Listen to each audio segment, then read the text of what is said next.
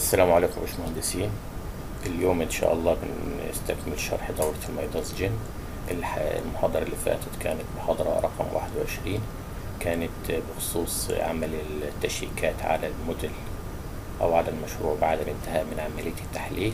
وعملنا كمان إظهار النتائج. شفنا النتائج المختلفة على العناصر للمشروع. فاليوم إن شاء الله بنستكمل في الحلقة رقم 22 ولكن كانت في ناس كتيرة سألتنا عن تحليل ال P-Delta في البرنامج علشان إيه نبقى انتهينا من عمليات التحليل. فالموضوع بسيط بتدخل بعد كده عند analysis ماشي؟ في في طريقتين اولا في إنك تدخل عند analysis وتاخد بعد كده ال P-Delta وبتدخل المعاملات بتاعتك اللي هي ال dead واحد وال live واحد وال super dead load اللي هي بواحد ماشي؟ بس غالبا الطريقة دي إيه؟ لو ما كانش عندك حالة تجميع حالة أحمال مجمعة وبعد كده ممكن تدخل بطريقة تانية. الطريقة التانية اللي أنت تعمل إيه, إيه خلينا مثلا نشوف حالة التحميل اللي هي فيها ال dead وال live وال super dead load. هندخل هنلاقيها تقريبا نشوف مثلا حالة رقم عشرين دي. آه هي دي الحالة رقم واحد وعشرين. عندي ال dead وعندي ال super dead وعندي ال live. هنا بواحد وهنا بواحد وهنا بواحد ماشي؟ بتدخل بعد كده موضوع بسيط يعني ال result بتدخل على result tables طبعا الم- الموضوع ال- بسيط جدا أبسط من ال ETABS أنتوا عارفين ال ETABS يعني في في ال في, ال في check ال P-Delta وبتعملوا بعد كده على كده جدول من بره والحاجات دي. لكن هو الموضوع بسيط هنا. علشان إيه دي برضو من الفروقات الحلوة جدا من المميزات اللي بتمتاز بها midas Gen عشان ناس كتيرة بتسأل إيه الفرق بين midas Gen وبين ال ETABS فبقول للناس دي مش هينفع أرد عليكم كده. أنا تابعوا محاضراتي كويس من أول ما ابتديت المحاضرات إلى الآن. كل محاضرة يعني بقول فيها نقطة بتختلف آه، اختلاف ال midas عن ال ETABS وعن الحاجات دي. فإن يا ريت الناس تتابع. وطبعا هيظهر الفرق ده واضح من أول الحلقة اللي فاتت في موضوع التشيكات وكمان في الحلقة دي لما نيجي ندخل في في التصميم إن شاء الله هتشوفوا الفرق واسع قوي إن ال midas Gen في التصميم أوسع وأشمل بيديك معطيات كتير وبيخليك تتحكم كتير في. في التسليح وال parameters التصميم أكتر من ال ETABS بيرغمك يعني على حاجات معينة فهنشوف الكلام ده إحنا بالظبط وتدخل بعد كده على stability coefficient ماشي اختار مثلا. عاوز ال إحنا قلنا رقم واحد وعشرين ماشي؟ اختار رقم واحد وعشرين نقول له أوكي. ماشي؟ أو أنت ممكن تعمل إيه؟ ال- بعد في طريقة تانية هنتكلم عليها بعدين. طب خلينا في ال deflection amplification factor Cd هي بواحد وال importance factor اخدناها بواحد. ماشي؟ في انت إيه إحنا اخترنا ال load combination مفيش داعي اللي انت تعرفه تاني هنا. إحنا ال load combination اخترناه في ال dead وال live وال super dead ممكن انت ما تحمله ما تعرفوش تاني. تمام؟ طب انت لو ما اخترتش ال load combination خلاص. عاوز بعد كده ما دام ما اخترتش ال load combination اللي اخترناه ممكن تبدأ تعرف من هنا تعمل add وتعمل live وتعمل add وتعمل add ماشي وتعمل OK. بس أنا إيه في الحالة دي أنا معرفهم واخترت حالة التحميل. فمش داعي اللي أنا أدخل إيه أدخل دي. إحنا عندك كذا طريقة. OK يا باشمهندسين؟ أعمل delete أعمل delete وأجي بعد كده وأعمل OK. تنتظر شوية. أدي حالة التحميل بتاعتك اللي فيها ال- التلات أحمال بتوعتنا وأدي بمنتهى البساطة والسهولة. الراجل بيديك ال remark بيقول لك OK. يعني المشروع بتاعك مش مش محتاج P-Delta OK؟ فدي كانت تحليل ال P-Delta حاجات بسيطة جدا. ندخل دلوقتي على موضوع التصميم. ال- موضوع التصميم ده موضوع بسيط جدا يعني بيعوض صعوبة النمذجة في البرنامج. فإزاي الخطوات؟ يا ريت الناس تنتبه معايا أوكي؟ أنت بتيجي تدخل على ال design تدخل بعد كده على الكود بتاعك. تختار الكود الأمريكي اللي هو الام المترك ماشي؟ وتضغط عليه. وبتيجي بعد كده بتدخل المعاملات بتاعتك. في عندك أول قائمة دي ال RC design دي تشمل اللي هي ال- ال wall وتشمل ال column وتشمل ال beam بعد كده القائمة التانية اللي هي ال meshed design دي بتشمل اللي هو ال slab ماشي؟ وال wall design بس في الحالة دي ال wall design كأنها تعتبر ك ك shell ال wall تعتبر ك shell ماشي. أما إيه؟ خلينا ندخل في القائمة الأولانية. نبدأ. بسم الله. ال design code بتعرف ال design code عندك؟ design code طبعا أنا مختار ال- الكود الأمريكي وبتعمل بعد كده إيه؟ بتعمل okay عاوز check check beam deflection check على ال beam def اللي هو check beam deflection okay. الاختيار ده apply special provision for seismic design ده لو أنت المنشأ بتاعك عامله بنظام ال- frame system ماشي؟ لو عملت ده بيختار لك إيه؟ ال special moment frame بتاع يعني المبنى بتاعك الجملة الإنشائية المقاومة ليه اللي هو ال- الكاميرات والأعمدة. طبعا هنا أنا ما عنديش الجملة الإنشائية المقاومة اللي هي ال- الكاميرات والأعمدة وعشان إيه بيديك برضه اختيار ال strong column وال weak beam وال special حاجات كده. وال shear wall لو كانت عندك بس إيه في برضه عندك shear wall ولكن الغالبية لنظام مقاومة الجملة الإنشائية هي الكاميرات والأعمدة فأنا ده مش هدخل فيه فقط هدخل. في عندك ال torsion design. ال torsion design لو انت مش عامل factors لو انت مش عاوز مش عامل factors اللي هي ال modifiers اللي إحنا قلنا عليها هنشوفها دلوقتي. إيه؟ يبقى عاوز تقلل قوة torsion عندك حرية ان انت تقلل قوة torsion بس إيه مش هنقللها. لا يفضل ان انت تيجي تقللها من ال modifiers واتكلمنا عن الموضوع ده قبل كده لما قلنا اللي هو من هنا بناخد ال scale factor عندك ال stiffen ال stiffness scale factor دي للكاميرات. والأعمدة ودي للحوائط ودي للبلاطات تمام؟ إيه، نيجي بعد كده نرجع لقائمة التصميم بتاعتنا. أنا خلاص عملت design code أدخل بعد كده على ال strength reduction factors ماشي؟ بقول له والله إيه المعاملات دي حسب الكود أعمل بعد كده إيه؟ update by code بس واجي أعمل okay؟ في ناحية التصميم يا باشمهندس يا ريت تصبر على البرنامج لأنه إيه مشروع تقيل. وطبعا إمكانيات الجهاز ممكن تبقى عندك تعبانة زي ما موجودة عندي تعبانة شوية. ترجع بعد كده لل design وتدخل على ال RC design تدخل بعد كده على ال modify concrete material بتشوف ال material بتاعتك. أنا واخد ال material بتاعتي. ال C 40 واخدها للكاميرات وللعم للكاميرات ولل والبلاطات. okay. ال code طبعا أنا عرفتها manual okay. أخدت C 40 دخلت ال compressive strength اللي هي بالكيلو نيوتن 40000 كيلو اللي هي بتوازي 40 نيوتن على المليمتر تربيع. تيجي هنا في ال rebar ال rebar إحنا بناخده وحدات هنا إما عندك تاخد وحدات بريطانية أو وحدات آه إنجليزية على أساس إيه؟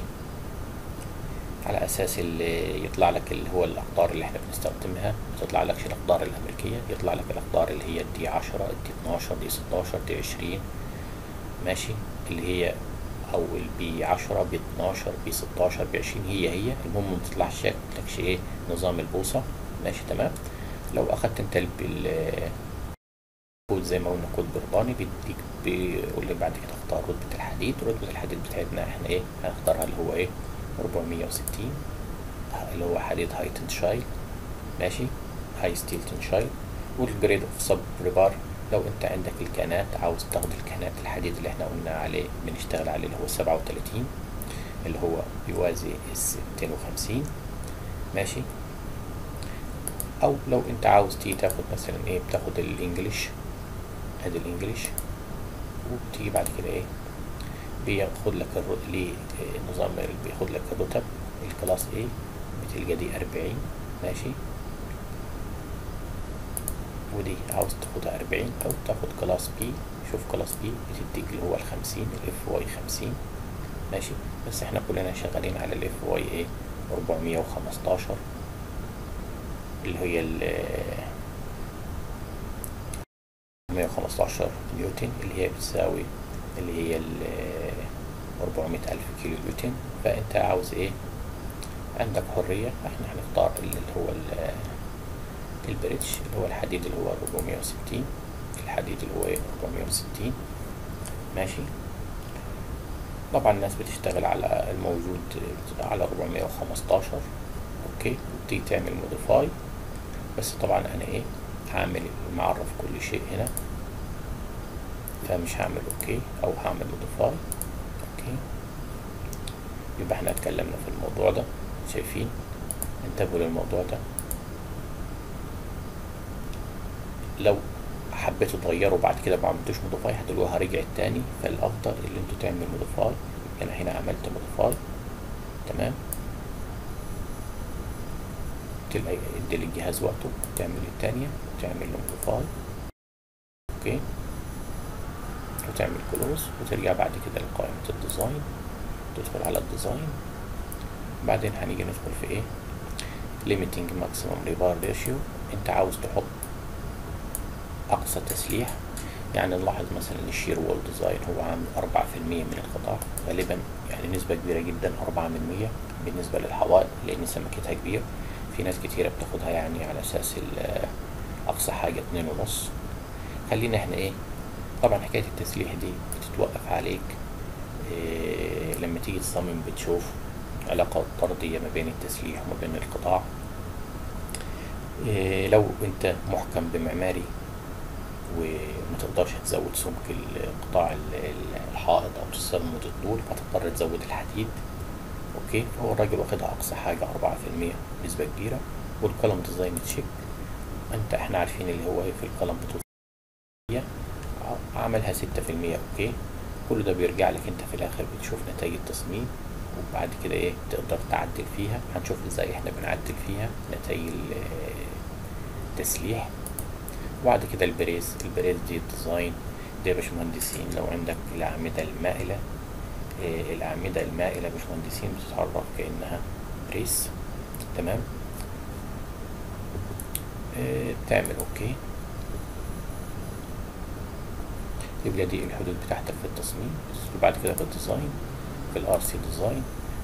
اتكلمنا بعد كده إيه؟ ال- عندك limiting minimum section size. ده اختيار. بيعتمد على. بياخد في الحسبة إنه يعني أقل قطاع أقل قطاع للعنصر الخرساني وبالتالي بيحط لك الحديد فيه. okay؟ في بعد كده في نرجع تاني لل design دي مهمة جدا ال design criteria of rebar القطع الأقطار الحديد المستخدمة لعناصر التسليح. بيبدأ بال beam. أنت أنا ال beam هنا مستخدم ب 12 وب 16 وب 20 تقدر تتحكم في الكلام ده في ال rebar هنا وتختار عاوز تزود عاوز تنقص. okay؟ تختار من الحاجات دي زي ما إحنا قلنا. شايفين؟ دي القطعات الأم... دي الأقطار الأمريكية لو كنت اشتغلتها. كانت هيطلع لك ال- البوصة بنظام التلاتة بوصة والحاجات دي. اللي هي بيتقال عندنا اللينة واللي في مصر والكلام دي okay؟ وال stirrup ال stirrup اللي هي الكانات بتاعتك عاوز تختارهم ال B عشرة ماشي؟ ال arrangement عاوز تختار كام ال- الكانة بتاعتك تختارها عاوز تختارها فرعين تلاتة أربعة بتخلي البرنامج هو يحددها لك بعد كده ال side bar اللي هو ال- الحديد ال- الانكماش تمام؟ بعد كده عندك اللي هو إيه؟ ال thickness بيتاخد أربعة تاخد أربعة سنتي thickness ال beam تاخد أربعة سنتي ماشي؟ في بعد كده إيه؟ ال double rebar ال double rebar اللي هو بيقصد بيه تسليح للقطاع زي ما إحنا عارفين في تسليح ال As وال As dash ماشي؟ حديد رئيسي والحديد اللي هو الحديد الثانوي okay؟ بتاع هو بيكون معلمه وال consider splicing limit for main rebar أنتوا عارفين في التسليح بيبقى في نظام ال splice bar لما يبقى عندك continuous beam. continuous beam بتقطع الحديد. يعني إيه في بتقطع الحديد على أساس اللي انت بتعمل له وصلات سواء كان في نص البيم أو في في أو عند الأعمدة. okay؟ فهل هو بيقول لك يقطع لك الحديد يقطع لك 50% منه ولا none ده معناه اللي هو إيه بيشتغل على أساس السيخ كامل. ف بعد كده إيه بندخل على ال column design هكذا بالنسبة للي إحنا عملناه لل beam هو هو ال column تختار الاقطار ال tie spiral الكانات بتاعتك ماشي؟ ال- في بعد كده الس- ال- ال thickness للعمود بناخده ثلاثة وهكذا. وبضيف بعد كده لل bracing ما عندناش ال bracing. بتيجي تنزل لتحت تنزل تحت لل shear wall ال shear wall هكذا. okay ال vertical rebar للاقطار ال horizontal rebar اللي هو ال B 12 أخدته على أساس حديد ال- الرأسي الحديد الافق 12 ماشي؟ في بعد كده إيه؟ والتخانة أخدتها اتنين ونص سنتي. في الحتة دي حاجة مهمة جدا ودي طبعا من الفروقات ما بين برنامج الميداس وبرنامج ال- اللي هي input additional wall data أنت بنستعمل دي بنستعمل دي يا باشمهندس لو أنا محتاج أحط حديد في الأركان الحائط حديد آه، أقطار كبيرة ماشي؟ ودي بتوازي في ال في ال ETABS. في ال ETABS طبعا الحتة دي بتضطر إن أنت بتدخل على ال section design داخل برنامج ال ETABS بتعرف ال- الحائط وبتعرف حديد تسليحه وبتعرف ال- الحديد اللي هو ال- اللي إحنا بنسموه العمود المخفي داخل ال wall. لأن الإجهادات بتتركز في في الأركان. فبدل ما أنت تقعد تزود ال- القطاع سواء طول أو تزود ال- الس- ال- السكنس بتاعه لا بتضطر تعمل حديد تسليح هنا آه، في في الكورنر. الحديد ده بيبقى بأقطار كبيرة خمسة وعشرين اتنين وتلاتين. وده طبعا إيه زي ما إحنا قلنا بينقذك من ان أنت تزود القطاعات لما تبقى محكم بال- بالمعماري. بيديك هنا كذا نوع. النوع الأول not used ما تستخدمهوش خلاص okay مش هيستخدم لك. النوع الثاني يستخدمه auto calculation يستخدمه ف عندك ال spacing of end rebar. لا إما أنت هتستخدم أربعة. أو هتستخدم ستة أو هتستخدم تمانية تمام؟ هو أنت قايل له auto calculation يبقى هو هيستخدم إيه؟ هيشوف هل دي تحتاج أربعة هل هتحتاج ستة هل هتحتاج تمانية؟ وبيديك هنا المسافات. يقول لك لو استخدمت أربعة المسافة بينهم هتبقى تلاتين سنتي لو استخدمت هنا ستة هتبقى المسافة بينهم خمستاشر لو استخدمت هنا تمانية هتبقى المسافة بينهم واحد. عاوز تغير المسافات دي؟ okay. عاوز تخليها كلها خمستاشر مثلا هنا خمستاشر okay عاوز تخليها خمستاشر مفيش مشاكل. في عندنا حتة اللي هي باشمهندسين مهمة اللي هي design of out of plane bending دي بنستخدمها. لو كانت عندنا ال- الحائط ك plate يعني أنا عاوز أصمم الحائط ك shell ماشي؟ مش أصممه زي ما إحنا قلنا اللي هو يعني يقاوم الجملة الإنشائية.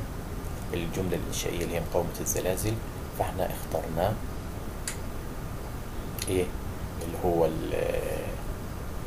آه، بما يوازي البير في الإتابس فده ما نستخدمهوش إلا في حالة تصليح عناصر وول مش هتستخدم في.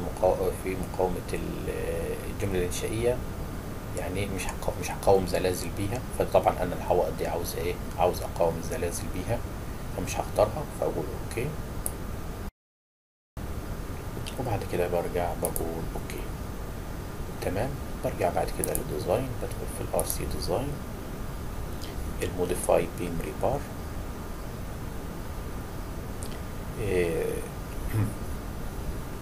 طبعا بعد كده دي هنرجع لها دي تعديل في ال beam modify beam rebar data بعد ما أجي أصمم أشوف ال beam بتاعتي.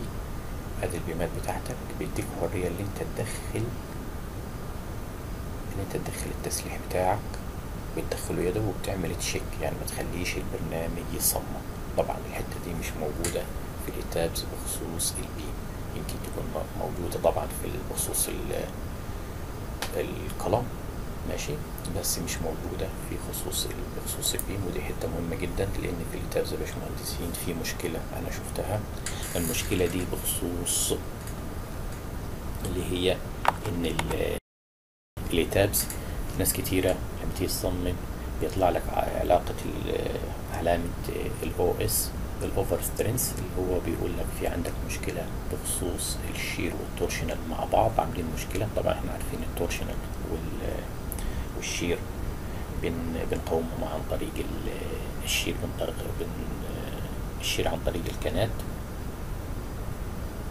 وبرضه جزء من ال torsion عن طريق الكنات وعن طريق زيادة التسليح. ف ال ETABS مش بتقدر وأنت بتصمم مش بتقدر تتحكم في الكنات بتاعته فلذلك بتطلع لك الرسالة دي. ولكن في الميداس زي ما إحنا هنشوف تقدر تتحكم في الكنات وفي توزيعها. okay؟ دخلنا بعد كده آه، ندخل على الخطوة الأخيرة وهي خطوة التصميم. يبقى إحنا عندنا هتلقى فيه آه، خانتين هنا للتصميم. أنا بتقول لك concrete انت بتصمم بيه بتخلي البرنامج يصمم. الخانة التانية اللي إحنا قلنا عليها concrete code check اللي انت بتعرف قطاع ماشي؟ بتعرف قصد التسليح في ال beam أو في ال column أو في ال brace أو في ال wall وبتعمل له بتقول له والله check check هنشوف الطريقتين. الطريقة الأولانية بمنتهى البساطة concrete code design وبتضغط على beam design طبعا أنا هوقف هنا التسجيل علشان أضغط عليه لأن هو إيه؟ زي البناء المشروع كبير فالجهاز حي ممكن ي hang أو التسجيل بالتالي هيحصل له مشكلة. وأنا هضطر أوقف ال أوقف التسجيل. ماشي. أو آه، نخلي إيه؟ نخلي مثلا آه، دي حلقة ونخلي بعد كده إيه؟ نعملها جزء تاني مش مشكلة. فأنا دلوقتي خلاص هوقف ال- التسجيل على اعتباره الجزء الأولاني من المحاضرة رقم 22 وهيبقى معاها الاجزاء التانية.